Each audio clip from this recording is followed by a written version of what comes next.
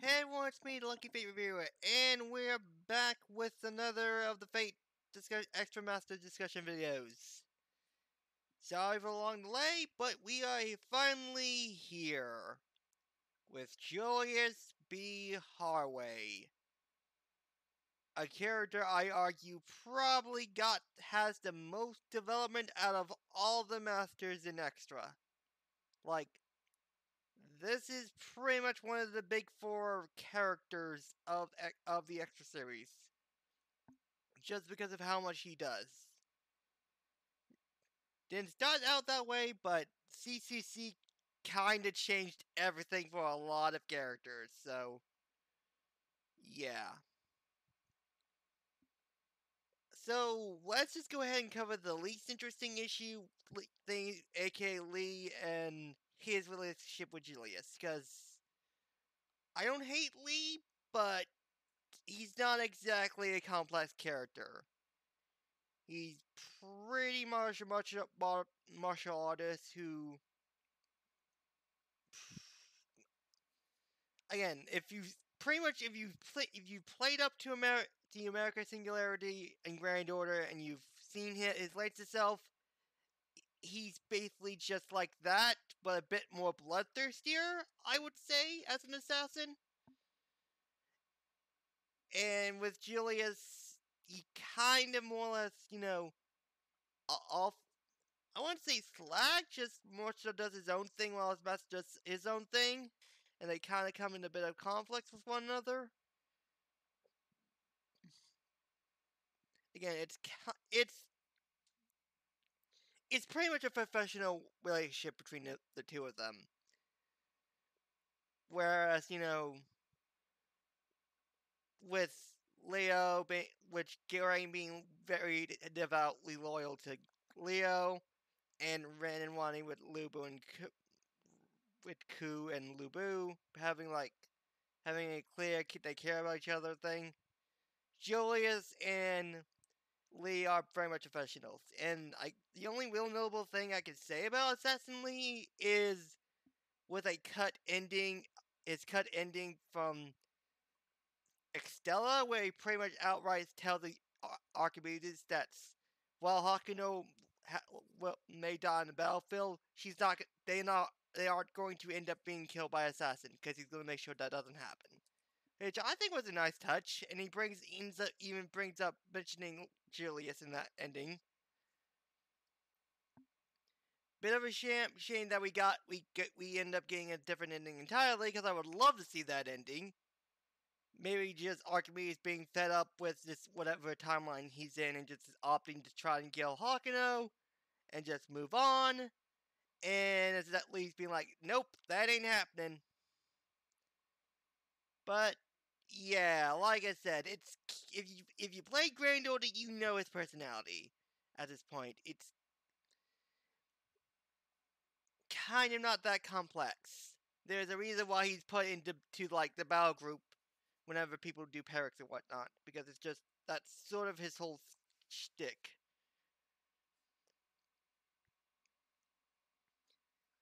But like, yeah, while Li is not really like Li Shuwen and his relation with with Julius isn't that much to talk about.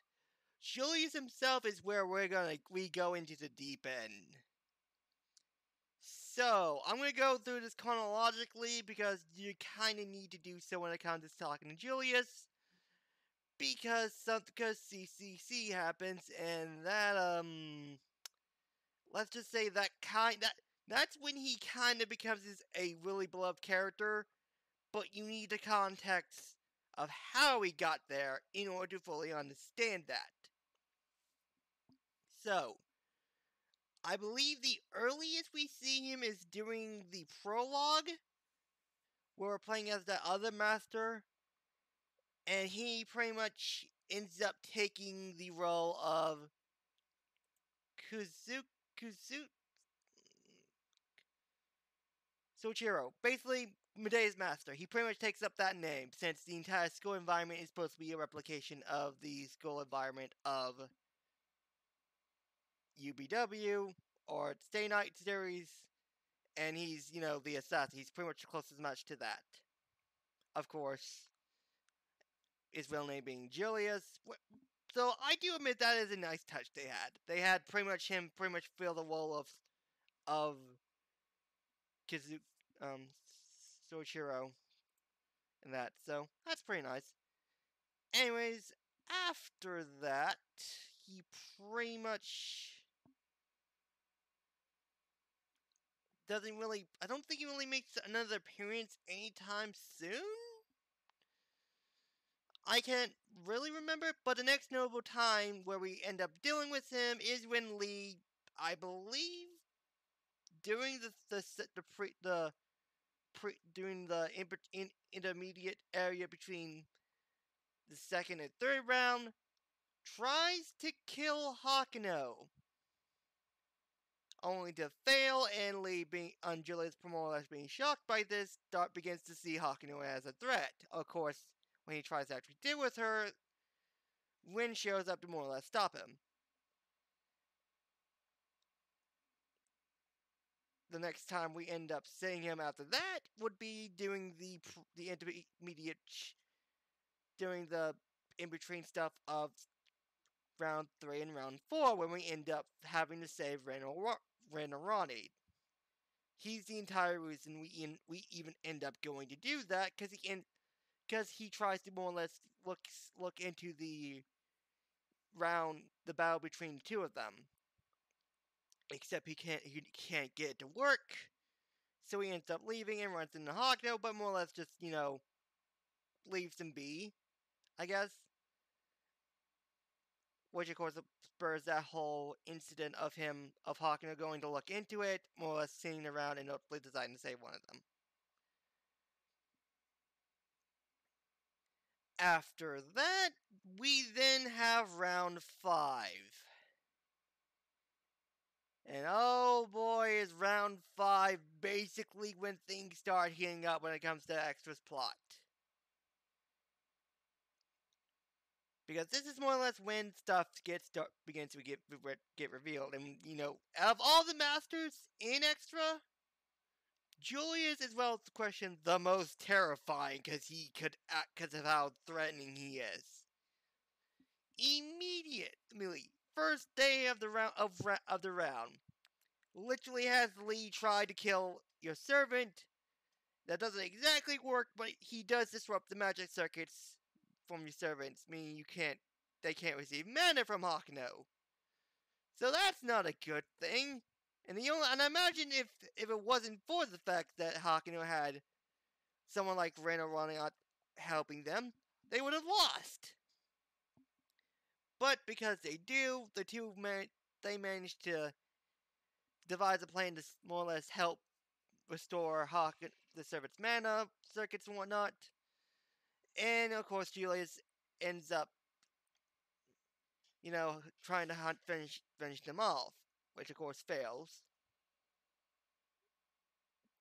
So it's at this point where they more or less have the whole issue of Li, Li being invisible, and to devise a way to deal with that, which comes with the whole ceiling thing, three ceiling traps that ends up working on him. And I believe after that, we kind of don't get much of him ex- until the the the battle between him and Hakuno. And this is where things get really interesting because Hawk. This is pretty much the first time Hakuno more or less shows her their ability, her slash them. You know what, what I mean? Their ability to more or less read into people and kind of break them down into figuring out how they operate something that CCC more like expands upon, but it's kind of interesting, inter, interest, inter, interesting that this is more or less where it starts, because I believe this is the only t- this is the more or less the moment when this starts happening, is with Julius. Hakuno more or less pretty much deduces that he's not, he doesn't really care about Leo, and uh, Meanwhile, might she may they may not know why. They more or less assume that he's kind of just he he doesn't follow Leo out of loyalty or care. And we'll actually get into this, but later. But of course, Hakuno wins. And unlike all the other opponents, Julius does something. Pretty much causes himself to prevent this complete deletion and manages to escape the arena, which I can only imagine is tied to his physical body and which is more or less a failsafe to ensure that if he did get beaten, he would more or less be able to still act. At least until Leo won. Because here's the thing with Julius. This was more or less a one-way trip. Like, him killing the moon cell, him running, him helping Leo win the Grail, this was always a one-way trip. This is more or less his final mission. Ensure Leo got the Grail and, and he at least die, you know, having fulfilled this role. But of course, since he lost to Hakuno, he can't really accept that, and so he ends up, you know, pretty much turning himself into nothing more than a ghost within the system to try and continue, you know, to fulfill his purpose.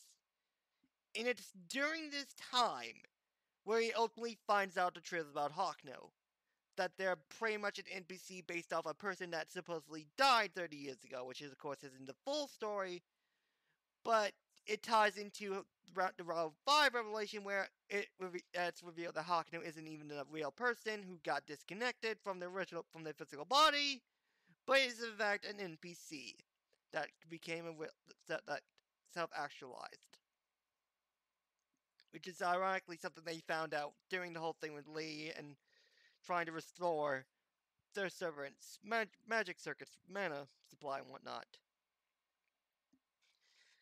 But yeah, that's more or less the last we see of Julius up until the round 7, where we're facing off against Leo. And we end up having to go through this arena that's kind of filled with Julius's memories, and we more or less learned about the full story. Leo Julius is a designer baby, but wasn't really was more or less deemed a failure by his family, and kind of was just treated like garbage.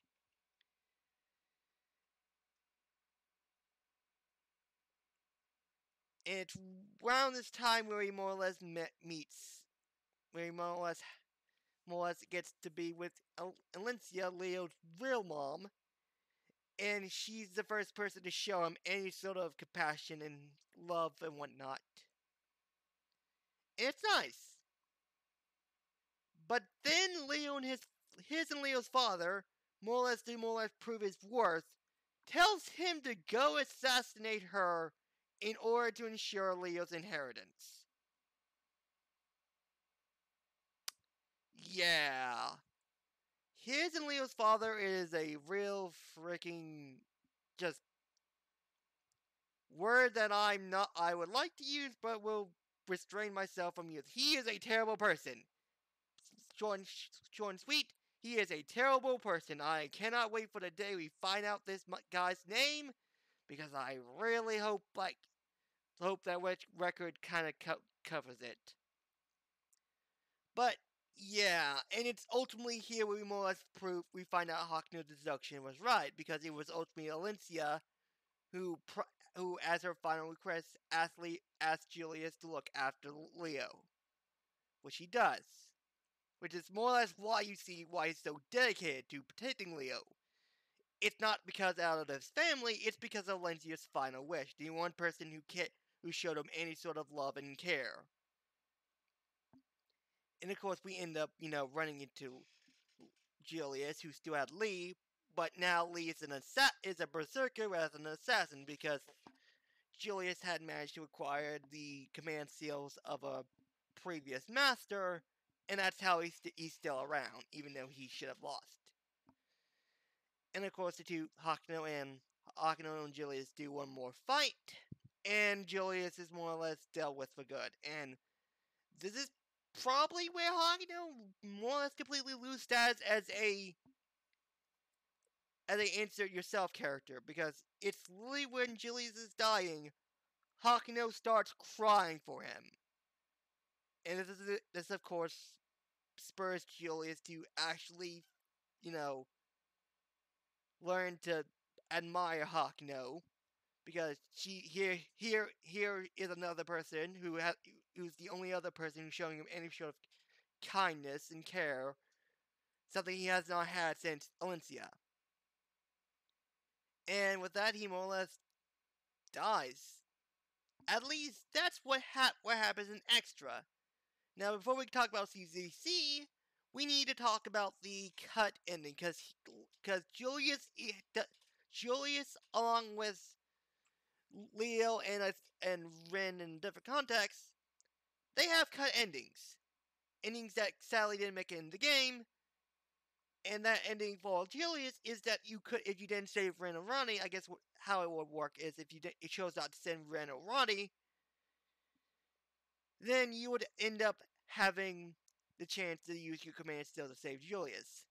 The issue here is Julius is of course aware that, you know, at least while he's appreciative, and I think he comes along with you, this was a one-way trip. He's he doesn't have a physical body to return to. His physical body is pretty much was pretty much being kept alive purely by machines at this point, just so he can feel his purpose. Which, though I do admit, it's still kind of nice that there was a consideration for an ending for him. Which eh, I do wonder if Extra Record is going to make use of. And I bring Extra Record up a lot. I guess this is, this is sort of a period where we can talk about this. You see, Extra Record, more or less, when it, it was initially revealed, showed us Julius's new design. Yeah. While it fits more appropriately than Julius's old design, the jacket, the removal of the jacket is kind of a big deal because it's like that jacket is iconic at this point. That jacket is you you know it belongs to Julius. So to see it more or less get removed for a more professional look, like it's it's nice, but I still I think a lot of people still prefer the old design. I just want to bring that to attention because mm, X Director is gonna is coming out eventually, so figured out that'd be a good time to bring up the, the new design. Anyways, now we move on to CCC and the actual kind of cool part of CCC.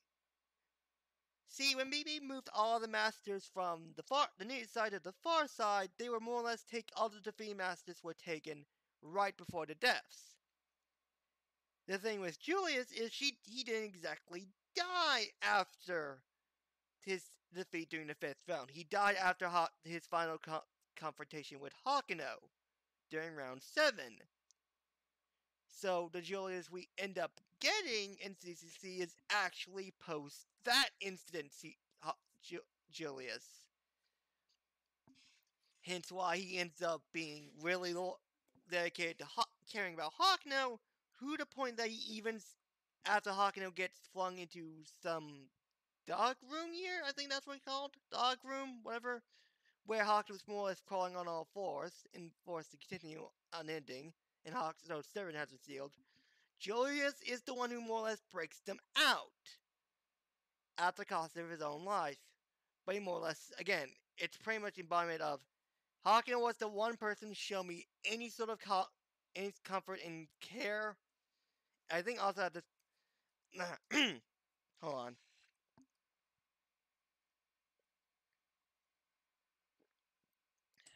Sorry. A little dry there but he he's pretty much the embodiment of Hakuno's the only one who showed me any sort of any any sort of care. I'm already dead, so if I have to die again, it's going to be to protect Hakuno, and he ends up doing this by you know faking his allegiance to BB, knocking everyone out at the at the school, and saving Hakuno from the area BB trapped her, trapped him in, and allows them to go free to servant. And in Foxtail, Julius more or less protects Hakuno from Kazura initially, even and even after the, he gets like impaled on dark spikes and Kazura takes Hakuno, Julius ends up freeing himself using the staff because he ends because in Foxtail he has more or less a replica of the of Domia Therion, aka the staff that BB has and he more or less, you know, dedicates himself to getting Kaz, um, King Protea and saving Haw- in his saving and helping having her help him save Hakuno. And he's still around at this point because he Hawkno manages to ha- have Vivi convince Vivi to, ha- to at least save Julius. So he lost more or less lost his hair in the process. Like his hair is no longer black. It's I'm going to guess it's white. I don't know. We would have we would have to get in a uh, color version of it, but suffice to say, Julius is still around. Though it's hard to say how much help he's going to be after everything that's happened. But yeah, I guess the last thing I need to bring up is Last Encore. His fight with Hakuno is more or less the same, though I guess the one difference in there is that he never had his fulfilling ending with Hakuno, since there was never a round 7. Since Ren and Roddy's round didn't happen during the third, but happened during the sixth round, which meant that Leo would, would have had to face Hakuno during the seventh during the sixth round. So Julius never recovered fast enough to where he got that conversation with Hakuno, and thus pretty much never got that moment with her.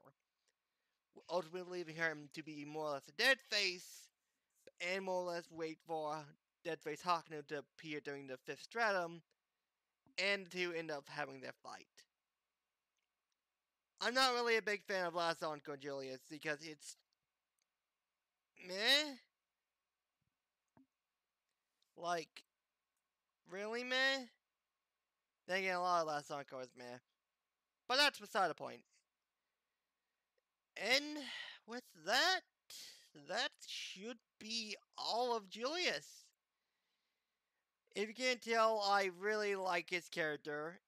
And he's, like I said, he's pretty much the character that goes through a lot of development throughout the events of Extra and CCC. It's just, alongside Shinji and Alice, like Shinji and Alice are, and Gato and Yanko uh, can be considered side characters and whatnot.